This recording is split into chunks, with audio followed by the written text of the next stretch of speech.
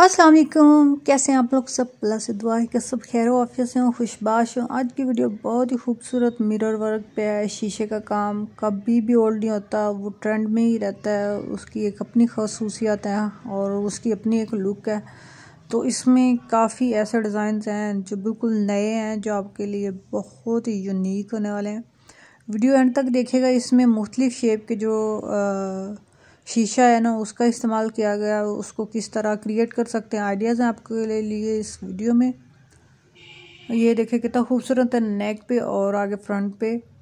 बहुत ही प्यारा ये। एक एक शीशा लगा है और दुपट्टे पे मतलब ये कुछ जो है, शीशे जो है मशीन से लगते हैं, कुछ हाथ से लगते हैं।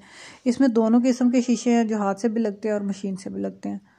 तो ये देखें, ये भी मशीन से भी लग सकते हैं और हाथ दोनों से, लेकिन हाथ से लगाए हुए शीशे की मजबूती ज़्यादा होती है। जैसे हमारे आजकल मशीनों में कपड़े धुलते हैं तो वो जल्दी ख़राब हो जाते हैं। अगर आप मशीन से लगवाते हैं, लेकिन अगर हाथ से लगवाते हो तो काफ़ी मजबूती के साथ लगते हैं तो काफ़ी लॉन्ग लास्टिंग हो जाता है। तो यूँ ही आप पे है कि आप हाथ से करवाना चाहें तो हाथ से करवा लें, नहीं तो शीशे का काम हर जगह पे हो रहा है आजकल मशीन का। ये देखिए रेड पे कितना अच्छा लगता है। ये इसकी जो लुक है ना एक्चुअली ज़्यादा रेड पे आती है। Red maroon black navy blue इस तरह इसमें जो डार्क कलर ना, उसमें वो एक ज़्यादा खूबसूरती आती है।